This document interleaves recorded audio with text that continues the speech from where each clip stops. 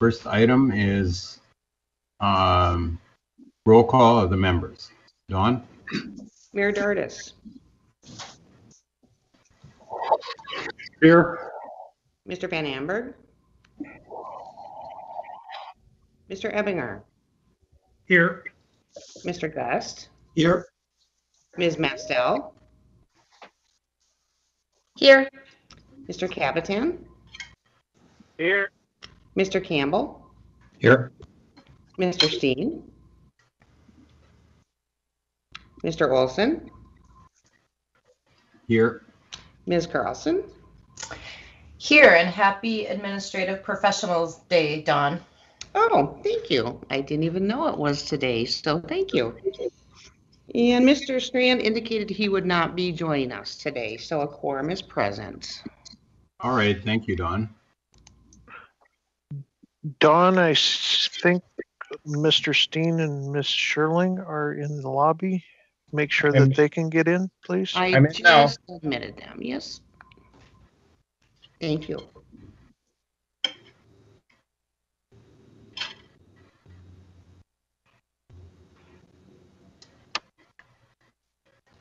Are they in, Dawn?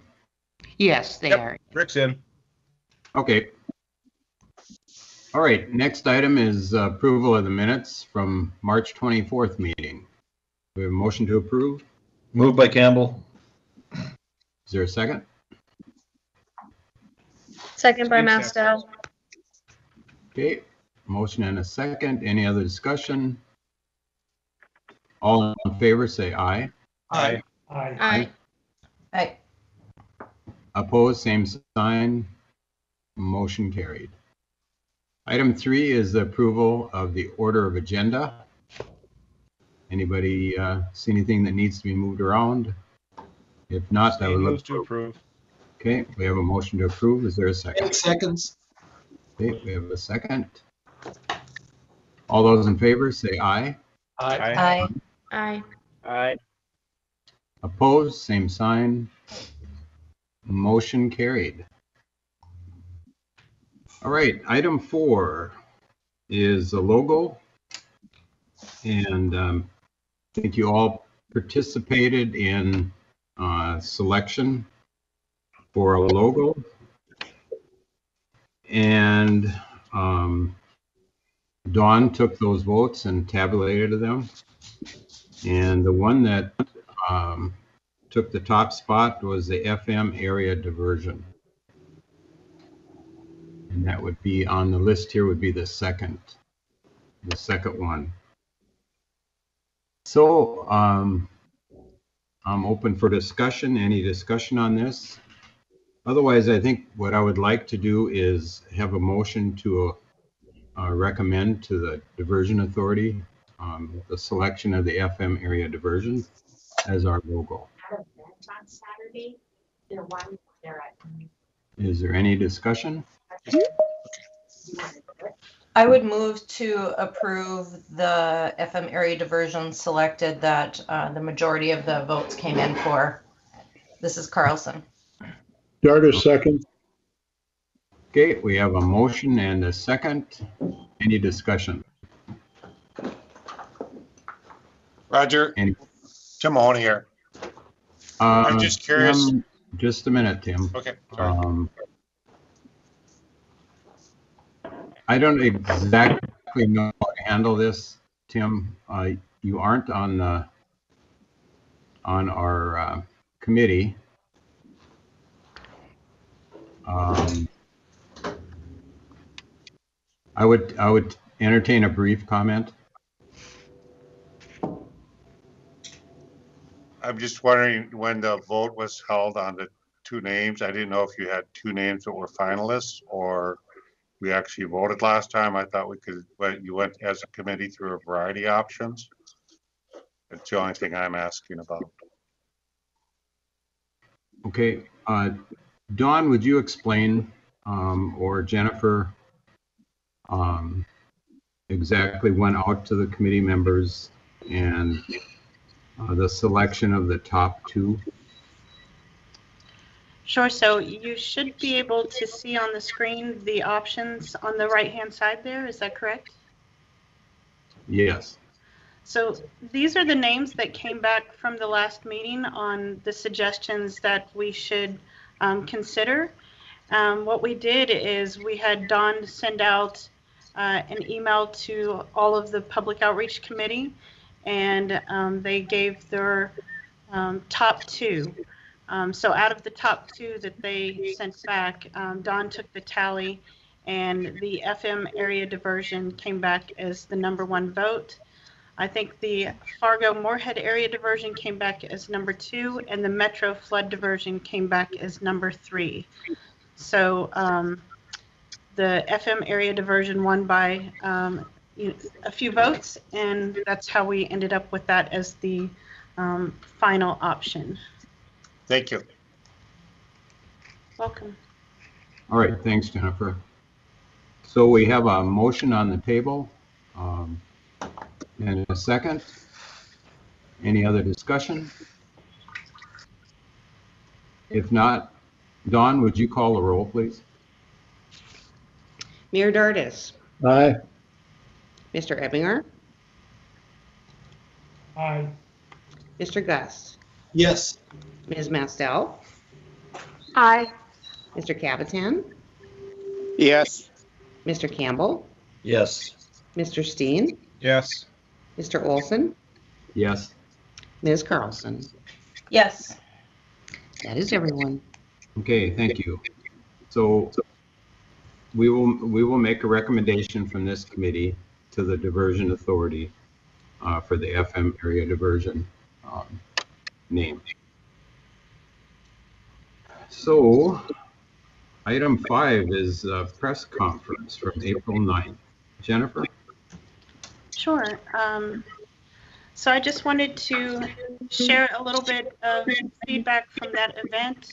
Um, there were some great moments that we captured that day, and um, honestly, each of the things that were shared by everyone from um, from our boards did a phenomenal job. I know we got a lot of positive feedback um, within our own teams, um, from the public, from the press, so um, and from the Corps. It was a really great event. So um, there are more pictures that I can share uh, between the group, so you can have those. Um, but I also have uh, just an additional highlight reel that's just a couple of minutes long that I'd love to play for um, you to see what captured some of the um, best moments from that day. So uh, let me just hit play. And if for some reason you can't hear the sound, let me know, but it should play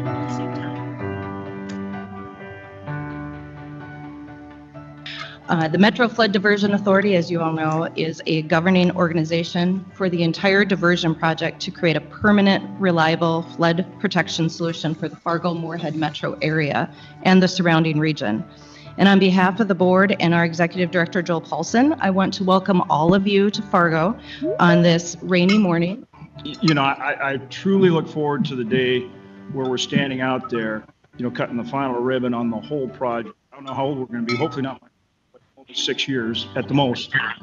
But uh, I think you're going to cry. I mean, you're just not going to be able to hold the emotion in because this has been a labor of love and intensity for you like none other. We have needs in our communities from um, from roads and bridges and potholes and rail to water projects. I, I want to say again, I'm full of gratitude this morning uh, for a lot of people in this room. Uh, when I look around the room and I think about all the people that have been working on this thing, not, you know, decades, some of you, to try to get to where we are today. I don't comment about legislation before it reaches my desk as a rule, but I'm going to make the first exception to that rule that I made. Uh, this, when this bill gets to my desk, I'm signing it. Uh, so. This is bigger than Fargo. It's bigger than Moorhead, even bigger than West Fargo, believe it or not. We are a regional hub. We always have been, we always will be. The synergy that's been built over the years through great leadership and great business owners, private, public, it's done. We're going to grow. Between three and 5,000 people are going to come to the Fargo, Moorhead, West Fargo, Dilworth area into perpetuity. Without this protection, Their businesses will not be safe. Their jobs are at risk. So at the diversion inlet structure and the Wild Rice River structure, construction's in full swing. Uh, both of those are about 50% complete, and we are on budget and on schedule on both of those, and a lot of activity going on at those sites even even today. We've we've never taken no for an answer. We've always tried to find ways because we have to. We have no other choice. We can't allow the risk of flooding um, to impede our growth and our prosperity within this community. Um, the homeowners, the landowners, uh, farmers, that group that we've asked to sacrifice to put this project on the land. And it's it's important to understand that that they did make a sacrifice. They have been um, paid for that sacrifice, but still, we appreciate that. Today, we're very pleased to announce uh, a $67 million award to industrial builders of West Fargo. Yeah. my employees, the men and women who will be building this, look forward to doing so and doing so safely over the course of the project. We look for the cooperation of the landowners, the citizens, and we appreciate the opportunity to be a local leader in construction. And again, the sandbags will become a thing of the past. So thank you for allowing me to share that. I think that was some great highlights from, from that day. Um, I'll also share um, some pictures from today. We have, uh, for the legislative update, the bill was signed this morning. So at 9:15 a.m., um, the, the uh, House Bill 1431 was signed for the bonding bill. Um, so we were able to capture some great moments. I hope that you all were able to watch that uh, live on the Twitter feed. If not, we have it posted on the website where you can watch that as well as um, the event from the I-29 um, award as well. So the next item that I want to share is just the uh, the website. So we've talked about this in a couple of the previous meetings where uh, we have so much that is coming our way with the um, upcoming award and moving into that construction phase with the P3 vendor coming on board um, at some point. Uh, we have a lot of attention that's coming to the uh, website. So the current one that you see is on the left-hand side. Um, what the intention is for uh, at least updating the homepage of the current site for now is we don't have time to do a full site rebuild before um, the award goes out for the P3. Um, but uh, the intention is is to redevelop that landing page so at least when people come to our website, they're seeing um, just a little bit more um, overview of what this project is, what we're about, um, what we're trying to accomplish, where we are. Um, so you can see on the right-hand side, I broke that up into um, two sections because you couldn't see the the full one long section. So the top area is on the left, the um, the lower half is on the right. Um, but it should have been or, or will be soon shared with the Public Outreach Committee um, to take a look. This is a sample template of what the site um, basically will look like.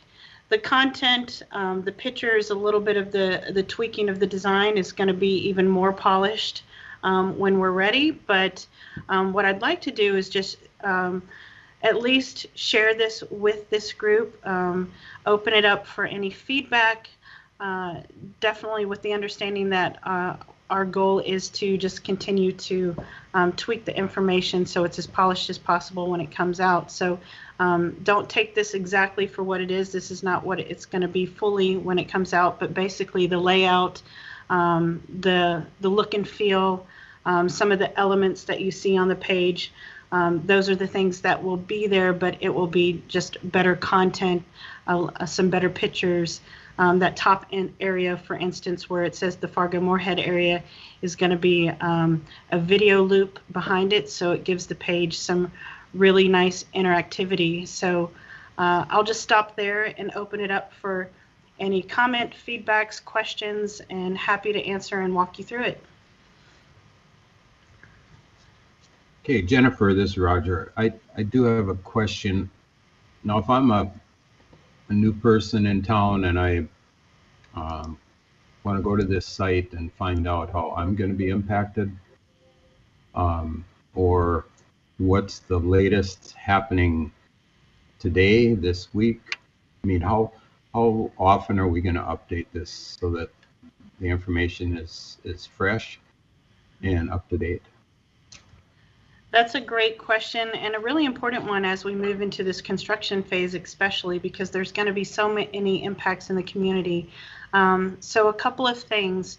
For now, you can't really see it on this screen, but at the very top, in that white bar um, above the blue line at the top, it's going to be an area where it can be a news alert. So, anything important for a road closure or anything that is happening um, that we need to make sure people see right off the bat. We're going to put at the very top. We can also um, do a quick update in that uh, middle section for that Fargo Moorhead area. We can put an alert there as well as, as needed. So we do have the ability to put something on there quickly. Um, we can keep the content as fresh as needed as we have things coming in, and I think that that'll be more prevalent as we moved in, into that construction phase. But I will share that for now, this this landing page is something to get us to where we need to be um, through this P3 award and the um, it, the attention that we're starting to get with the community looking for resources and job information and, and um, construction information. It'll get us through that phase until we can actually rebuild the whole site and build something better for um, um, just some of the things that are going to be happening in the future once construction really gets going even more than it is now. Um, I, I don't know if that answers your question fully, but because you can't see that area, but does that make sense? Uh, yes, it does. Um, Okay. Yep, thanks. Paul? I know it's a little hard to see on the screen, but Uh, Paul has his hand up. Yes, thank you. Um, just wanted to add to that, uh, as part of the P3 requirements, the developer will have their own public information officer that'll be working, they'll be the day-to-day contact with that whole project, and they'll be working directly with Jennifer and, uh, and with this website. So it'll all be one big integrated effort. correct. Okay, great. Any other questions for Jennifer or Paul?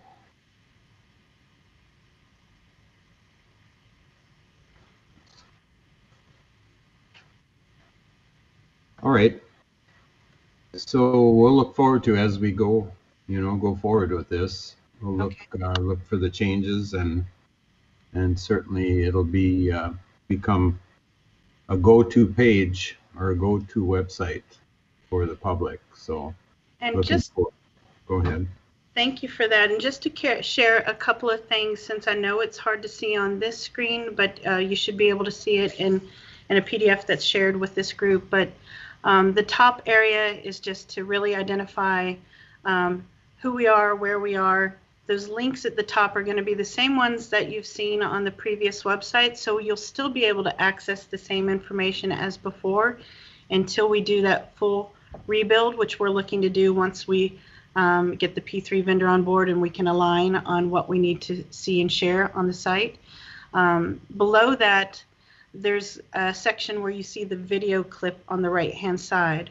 We're working on putting together a video where we can tell a little bit more about the story of um, the history of this project, uh, what we've uh, experienced in the past to, you know, even initiate this type of project, um, who has been involved to get us to the point where we are now, a little bit about the um, technology that's being developed, the partnerships that have been formed, um, some of the forward thinking um, that is being done to really set the standard for this type of project going forward. So it's going to be a really nice clip that tells that full story.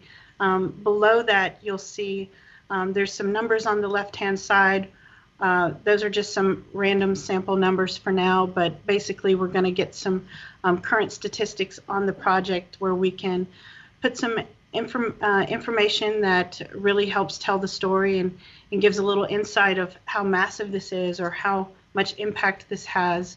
Um, and then below that, uh, it's a little bit hard to see, but there's a map section. So that map section will be similar to what you are used to seeing now for the map of the project, but it's going to be interactive where you can drill down into it and, and see each of the sites um, that are being uh, built and a little bit more information about each of those sites. Um, then on the top right uh, corner of this, where the page will continue, you can see up-to-date photos or videos of the project. Just you, you can see the current construction process. Below that, we'd like to do a section that tells a little bit more about the history of the project um, and the and the flooding that has been experienced in the past because it's so easy to forget um, why this project is even happening. So um, we're working on getting um, more pictures and even video footage from past historic flood events.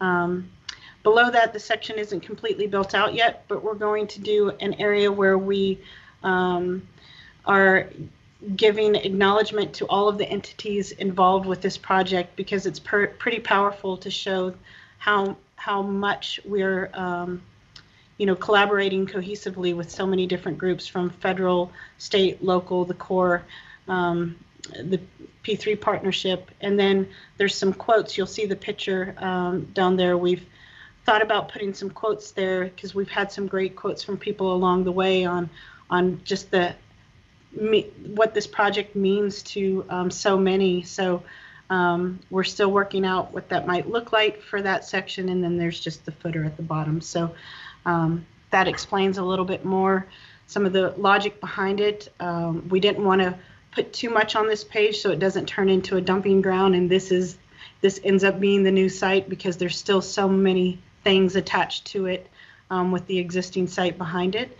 Um, but I hope that gives a little more insight into some of the logic that we're looking at. Thank you, Roger.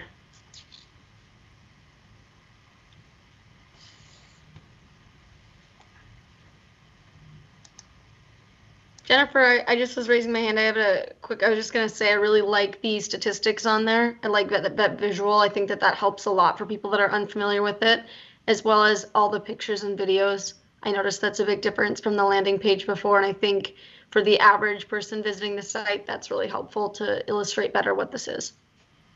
Thank you so much, Katie, and and also would love to even partner with you um, a little more. I sent that message earlier today on how we can even share some resources for um, some things with the chamber as well. So thank you for that feedback.